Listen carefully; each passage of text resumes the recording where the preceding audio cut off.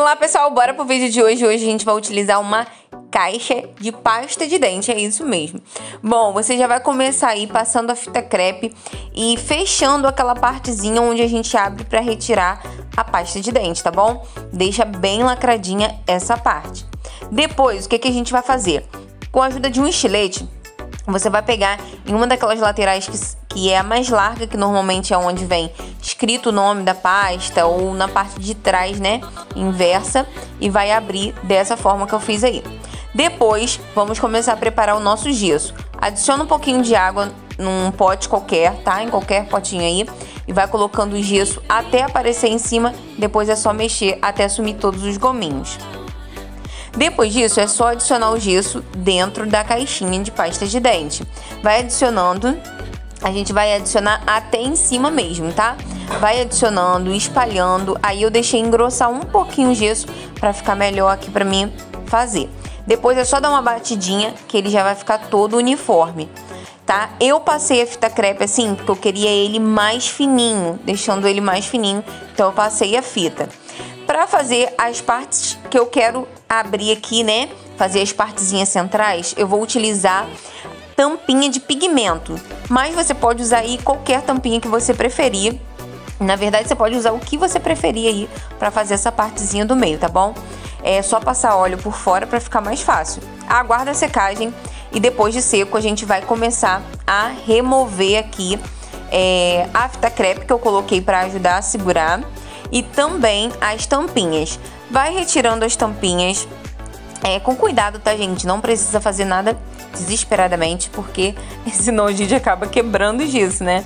Então, retira todas as tampinhas e depois disso, você pega com a ajuda da tesoura e vamos abrir a caixa.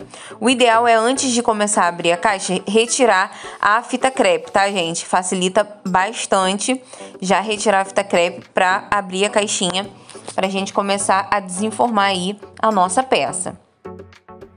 Vai ficar assim, tá vendo? Para fazer o acabamento e deixar tudo mais bonitinho, eu sempre utilizo aqui a lixa d'água 120 e uma bacia com água para ir moldando do jeitinho que eu quero.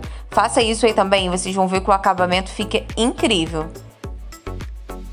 Tá gostando do vídeo? Então corre aqui embaixo, já senta o dedo no like e não se esqueça de se inscrever no canal e ativar o sininho, tá bom?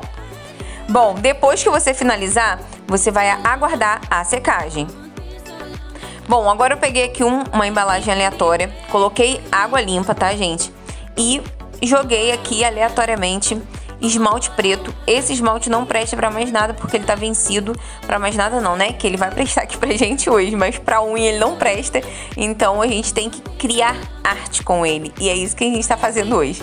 Pega aí sua peça e depois botar o esmalte na água, você mergulha igual eu tô fazendo.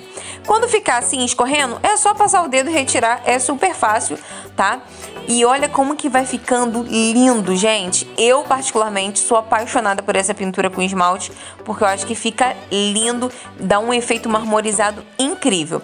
Bom, depois disso, depois de você deixar do jeito que você quiser, é só aguardar a secagem. E olha como que ficou a nossa peça de hoje, gente. Ficou incrível, eu amei. Eu coloquei essa plantinha só como forma mesmo de decoração, mas também pode utilizar sem se você quiser. Mas repara essa pintura, já modificou por completo a nossa peça.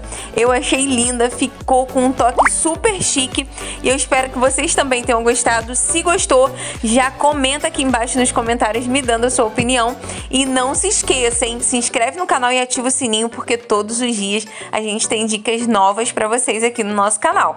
Dicas simples e gastando super pouco para decorar aí a sua casa. Olha que fofo que ficou, gente. E tem pessoas que têm aquelas velas decorativas, né? Vai ficar muito mais bonito ainda.